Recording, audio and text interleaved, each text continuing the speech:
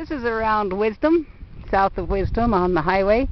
That funny looking contraption there is the old hay stack maker. I guess that they would somehow roll up cubes of hay and build a big stack. But as you can see today, they don't do that anymore. They roll it up.